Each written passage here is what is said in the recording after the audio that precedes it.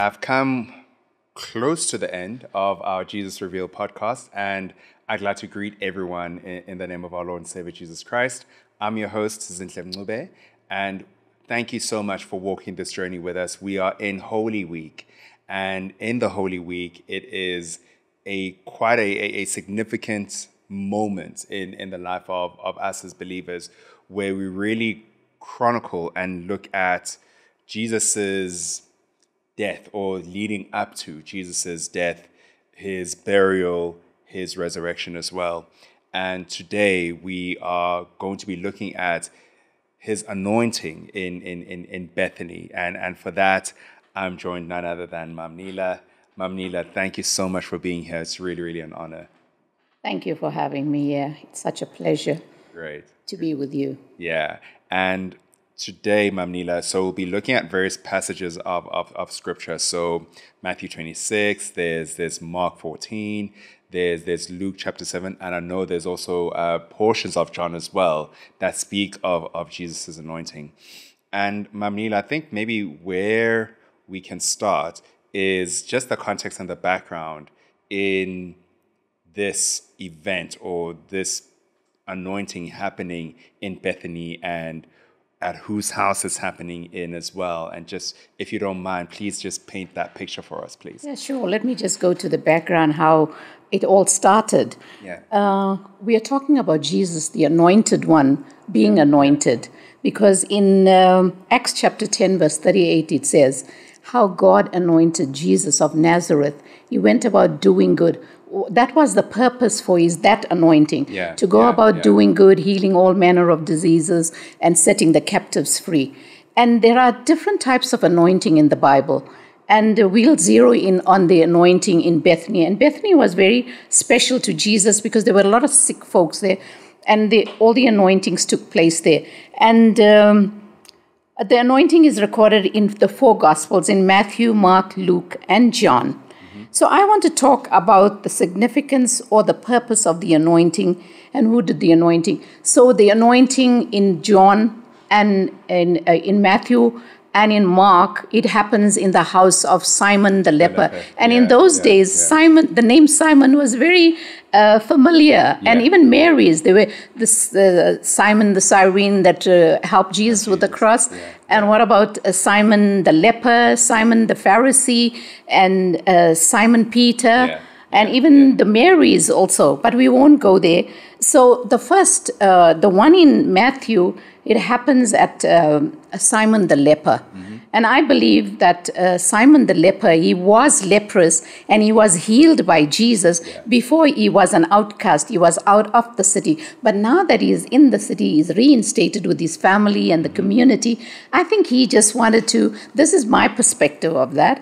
I think he just wanted to have a Thanksgiving meal and he Yeah, invited Jesus and his disciples for the dinner to say how grateful he is for his, his, um, his healing. And in so many of our lives, also, we need to go back and say thank you to Jesus. And so I think that's what he did. But we'll get to the story how uh, the meal gets interrupted by somebody just coming in and changing the scene there Yeah, and yeah, uh, yeah. the sinful woman that comes there. And the other anointing I was going to talk about was also the anointing that took place six days before Jesus' Passover. Okay. And this took place in the book of John in the house of Lazarus. There too, I think Lazarus, when he was raised, raised from the dead, and uh, his sisters must have decided with the brother and say, "Hey, let's have a, a meal with the with Jesus, just to say thank you."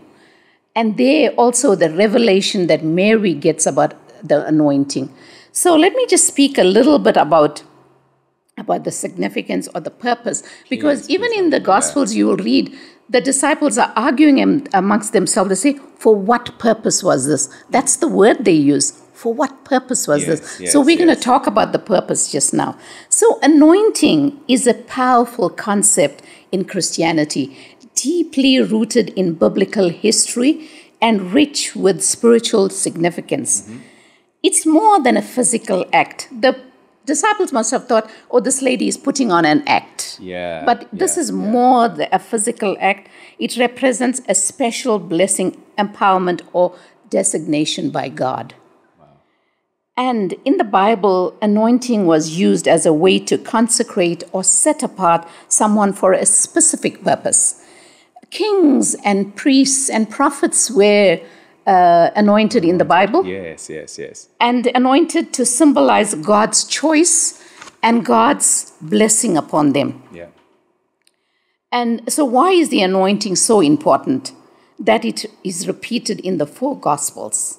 Now, I'm particularly interested in the two uh, accounts the one in, um, in Math- Matthew and uh, the one in Luke and in John. Okay. Because uh, in Matthew, Mark, and Luke, uh, Matthew and Mark don't say it so much in detail like Luke does. Yes, like yes, he describes this woman's character, he describes uh, her sin, he is like portraying everything about it and he's putting it on the table.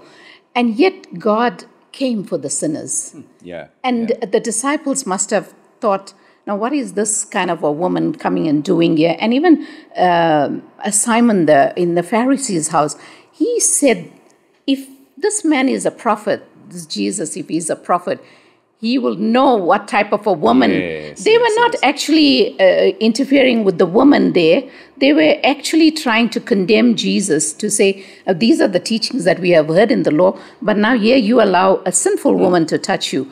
But Jesus, with compassion in his heart, he is not worried about what people have done, what yeah, they do. He is worried about getting them out of their situation and giving them hope for tomorrow. and I think that's where we come in, where we see people, we don't judge them for what they do and and say all manner of things against them. When we are moved with compassion, we'll go past their sins and their failures and their faults, and we will try to help them and give them hope to come back into society. And I believe that's what happened in in in this in the story that we are talking about.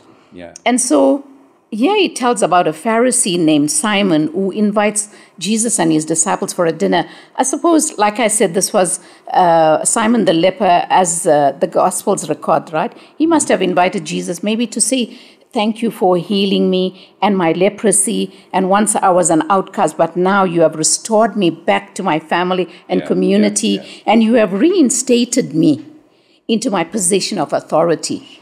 And therefore, I want to have a Thanksgiving meal. Now, suddenly the scene changes. It's no more about the meal, it's about this nameless, sinful woman, uninvited guest that interrupts this meal. And she comes into the house and she does the unthinkable. She starts anointing Jesus' feet with her tears falling on Jesus' feet. She starts wiping with her hair. And in, uh, in those days, a lady was not allowed to let her hair down. her down, It was yes, against yes. the culture. And she could only open her hair when she's inside their house or with her husband or with a family, Yeah, but yeah. not in public. But yes, she does the unthinkable and she breaks protocol. She breaks everything and she goes and she starts kissing his feet nonstop. She she kept on kissing his feet. She poured all of her costly perfume on Jesus. She gave all that she had to get. So she brought something to give to Jesus to get back something from from Jesus what she didn't have. She didn't have forgiveness. She didn't have uh, the, uh, the ability to be amongst people. But here she comes and she breaks protocol and she breaks the culture of the day and she is there realizing she is also an outcast and she was a wicked, sinful woman. She needed a savior to forgive her and to restore her and to replace her back into the community so that she can back to uh, identity and a dignity as well. And I believe she must have thought if Simon the leper was outside of the city gates and now he's got his healing, he's back reinstated, she must be thought to herself, I'm going to take this risk of going in there. Maybe Jesus can restore me as well, forgive me also, and heal me the inward pain Yeah. that I have. And that's that's so interesting, Mam Neela, because you know when we look at all the cases of how Jesus healed, it usually starts with the person asking Yes. that they be healed. But with the case of the sinful woman, all that she does is just go goes to Jesus' feet, begins the anointing? Well, in, in the accounts of, of, of, Matthew, the anointing starts from his head, Yes. and then he works. She works her way down, and but then to what you are saying, she receives something that maybe she didn't verbalize in, Yes. in asking, Yes. but she really needed that, Yeah. and that's that's very uh, important. Even when we we look at how we come to Jesus as well, and our devotion towards Him in Yes. In whether it's tears, whether it's it's just being at His feet, and and there's really something powerful there that we can learn from this woman. Yeah, it on is so powerful Yeah. because uh, it doesn't record that she said anything. No, yeah, yeah. it was yeah. only her action, what she was doing. And um, she didn't voice her opinion or she didn't come asking for anything. Yeah, yeah, But she just did. absolutely. But the people that were quite vocal about what was happening was was Jesus' disciples. Uh, firstly, I guess they know who the woman was and they know her Yes, first. So they have something to say on that. And secondly, looking at her use of the alabaster oil and the alabaster box, looking at how expensive that is and as how it's been recorded, um, they are complaining that no, but you can use this for something else. You can Yes. you know help the poor and and, and jesus obviously responds to that Yes. so let's let's please Mam Neela if we can just look at that as well and and just reflect on that back and forth between the disciples and and and jesus yeah Okay, so what this woman did was not just an act. She Yeah. took the risk of being ridiculed and Yeah, thrown out of yeah. Jesus' presence. So this woman shows us the best use of time yeah and the best use of her treasure. sure She was at the right place at the right time to receive her breakthrough. okay And um, an act of service, an act of love, and an act of sacrifice was commended by Jesus. When the disciples were indignant and angry with her, and they were even rebuking her, yes Jesus rebukes his disciples and he commends love, and especially when it was so costly. Because when you think of when I was uh, doing a research on the alabaster box, I was thinking that the disciples and everybody in the room knew the cost of the alabaster box Yeah. because I believe in those days, uh, every girl in a household was given a alabaster box with the perfume. It was the most expensive perfume. Yeah, the father would give it to her as a dowry. So when she goes to the house of her husband, she can use it there. But here you can see these ladies kept it for a specific yes purpose. And so we can learn a few lessons from this woman. She didn't come with she didn't come empty-handed mm-hmm. to the master, one. She had a revelation he was her king, a prophet, and a priest. Because that's the anointing she knew about in, Yeah. in those days that they, these people were anointed. But she had all this three in one in one person. She said, He's going to be my king, he's my prophet, and he's my priest. So she came to anoint him for his burial. That was the purpose. yeah yeah And the third thing, she took the risk and did the impossible that nobody will want to do. So when Simon was thinking, uh, like I said, if he only knew the, if he's a prophet, if he only knew what, this woman was doing, he wouldn't mm. allow her to touch. Mm. So in this account, criticism is directed at Jesus yes yeah for allowing Yeah. the woman to touch him. So Jesus, immediately knowing Simon's thought, asked him, Can I tell you a story about forgiveness? You know, Jesus was the best storyteller. Mm-hmm. If, he, if he knew what the people were thinking of, he will tell them a parable and he'll include, include you in that Yeah, parable. yeah, so yeah, that's how he included Simon in this parable and said, you know what, there were people owing money. There were two lots of men that were owing. One was owing 500 denarii and the other 50. Hmm. And he forgave both of them. So who would love him more? He said, or the Yes, one who was forgiven more. Then he turns to the woman. All the time, the woman is behind him. And he's not uh, face to face with her. But now, because everything is turned around, he turns around to this woman. He said, But this woman, ever since she entered the room, she's been wiping, you know, the culture of the day should be when a, a guest comes in, the host must take a basin of water, wash, his Wash the feet, feet, and yes, put the towel around and cleanse him and anoint his head with the cheapest oil oh that was the uh, things that they did in those days. Yeah. He said, But you, he's rebuking Simon now. He says, But you, I entered in, you didn't do all that for me. But this woman, ever since I entered, with the tears, she's wiping, oh, she's cleansing my feet. And she opens her hair. She's not worried about dirtying her hair because I have all this dust on my feet. She's not worried about that. And then she takes the alabaster jar, she breaks the neck, and then the perfume. Hmm. That perfume is for peace. You can see this woman has no peace, but she come here for peace. And doesn't the Bible say when you enter any home, when it is a household of faith, you leave the peace of God. and that's what she wanted everybody to understand. There is peace in this house.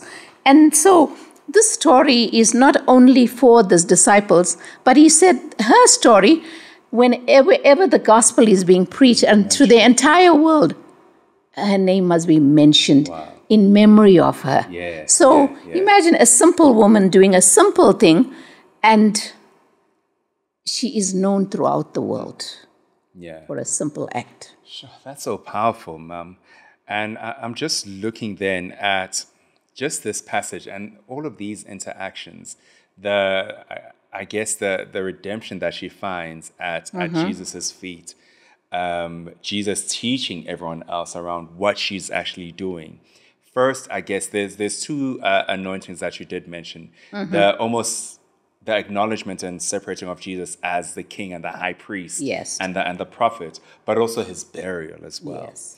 And then there's even her- then, like I said, receiving that forgiveness, receiving the, the forgiveness and even the wholeness. And mom, how then can we then look at this passage and and what can we take away from it in just in its in its totality? The takeaway I can say in this passage, when I, if I read something very profound in verse 48, Yeah. when he turns to the woman and he says, Your sins are forgiven.